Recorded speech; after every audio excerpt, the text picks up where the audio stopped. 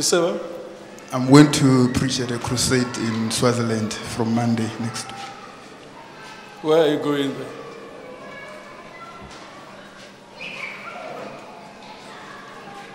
Swaziland. I say, why are you going to preach there? You are invited I'm, I'm invited, yes, by who? by uh, Bishop Mbingo. Huh? Bishop Mbingo. Next time, don't, don't take those kind of invitations. Okay. You understand? Yes. Because it's like it's for money issue. You understand? Yeah. Eh? The people here try to make money out of invitation and it backfires on you. You understand? Yeah. Yes.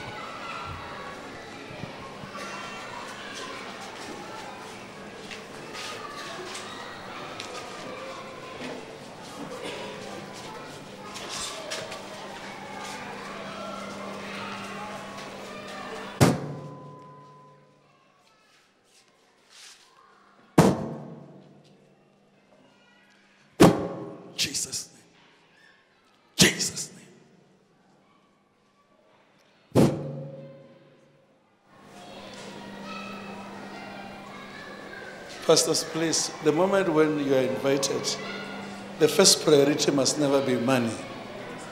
You understand? Because already you have paid yourself, and heaven didn't pay you. You understand? Eh? This issue of invitations is killing people. That's why we don't have people who are anointed now. It's a problem. Invitations and money. And now, when you go and preach there, sometimes they abuse your calling. I'm afraid also for him. Where is that brother? He's a very good man, but I'm also afraid for what will happen there. The man who invited him is a man of God.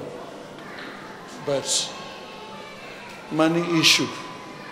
Are you hearing my brother? Amen. Eh? If you are going there, I can even advise you that if you want to see God sending you to your own crusade, when you reach there, you say, I don't want money. Amen. Are you hearing me? Amen. You see God uh, opening doors for you. I know you have got money crisis. Amen. That's the reason why you agree this thing. But according to what I'm seeing, it goes against your calling. Are you hearing my brother? Amen. Eh? You know what I'm talking about? Yes, I'm hearing Eh? that. So God loves you. I'll pray for you. Make this to be a last invitation.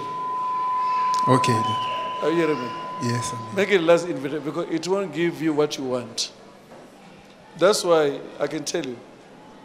The last invitation I did it long time ago, more than 15 years ago. I stopped invitation. Reason because of what God told me. He showed me a problem when I reached there. And he said, How can you address this? I said, If I address it, I will kill his ministry. Are you hearing me? I just mm-hmm. said, my wife was there. I just said, you know what? Ish, there's a problem. But of your wife. But I can't say it.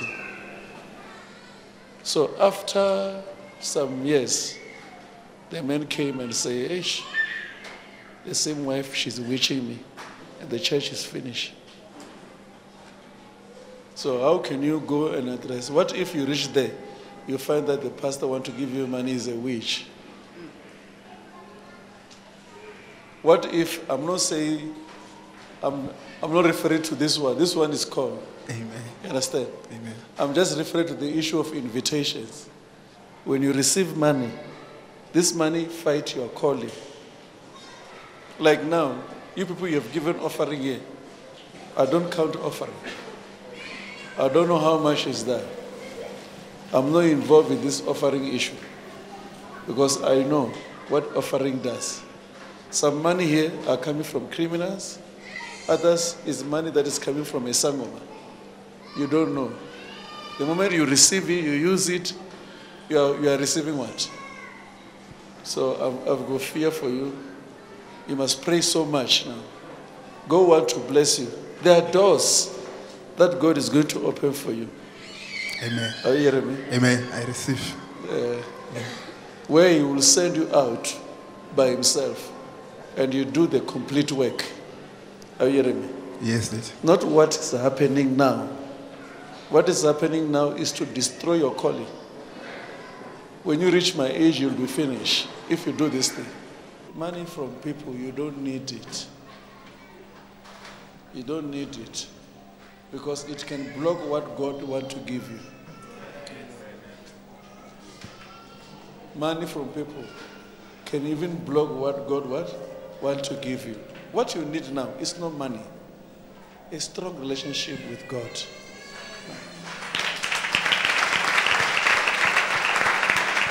You are not a big pastor because of big money and a big congregation. Your calling is not my calling. At the end, all of us will die. There were other pastors before. Where I come from, in Venda, they are very strong pastors. Very, very strong. You don't even know them.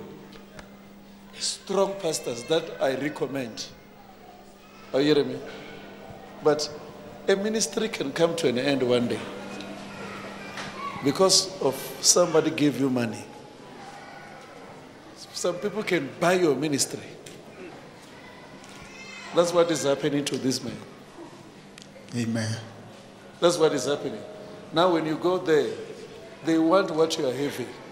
They give you money, they bought it. When you go there, you struggle, you go fasting now. I don't know if you hear me.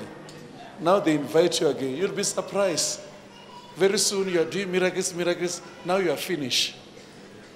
You'll be surprised very soon you will change your title. That's why you see people changing their titles. You see a person now, he was an evangelist, now he's a prophet or a pastor. But now this person is an apostle now. Now he's changed himself. He said, I'm a teacher.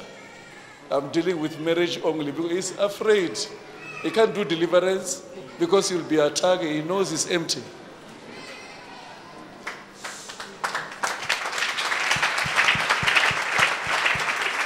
If we carry on this way, you are invited here, you are invited there, you are invited there, you are invited there.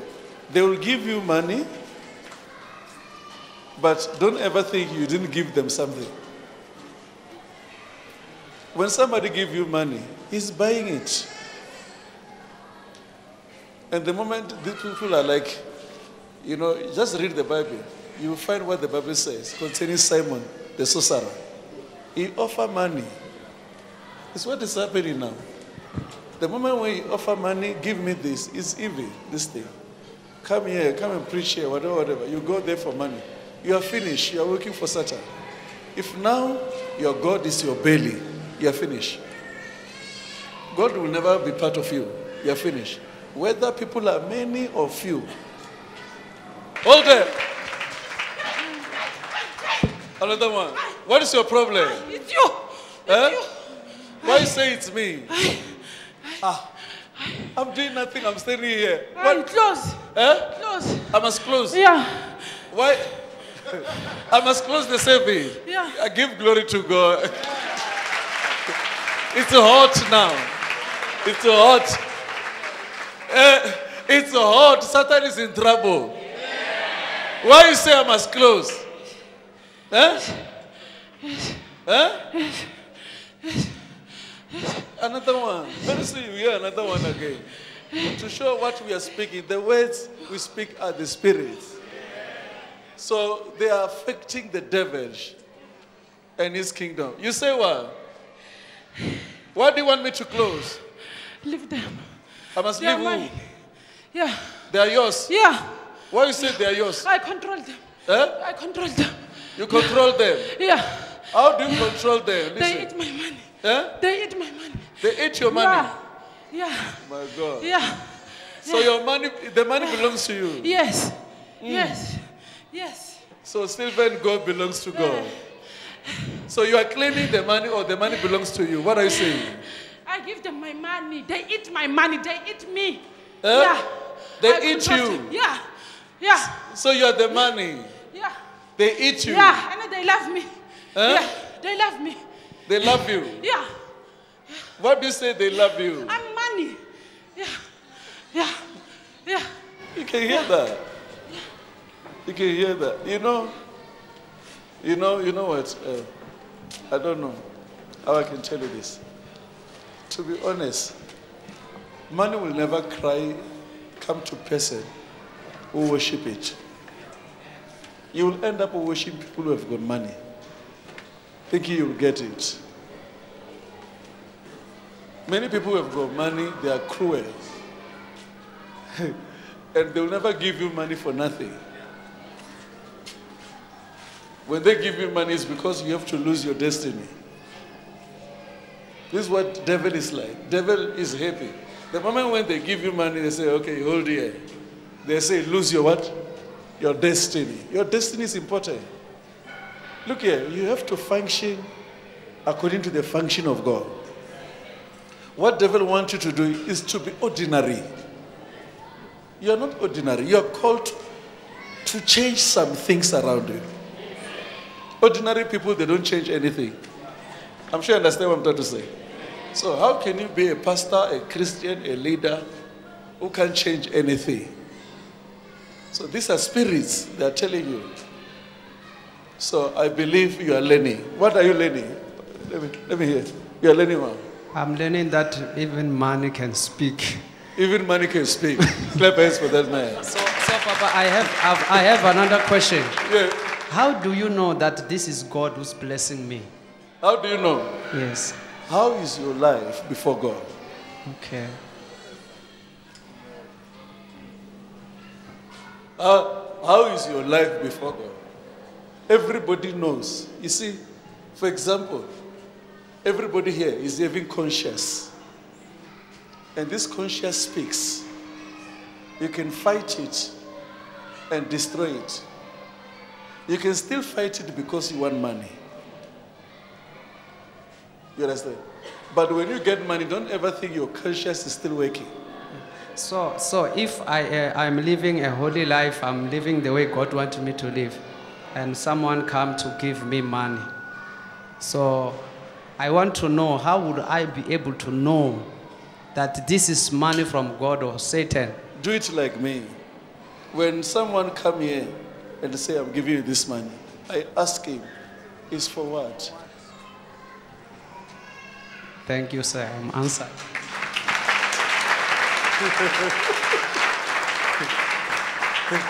That question, if you ask that question, a person giving you money and you have never asked the money, eh? You say, is for what? If the person say, no, man of God, God has touched me to give you this. Okay, because he has spoken that, you can take it. You understand? But if you just find that somebody is just giving you money for no reason, and say, I love you, you just take this. And you do like this, say, hey, So, maybe Papa, you are joining a cult now. okay. You are joining cult now. All right. It's possible you join cult because you love money. Okay, Thank you. All right.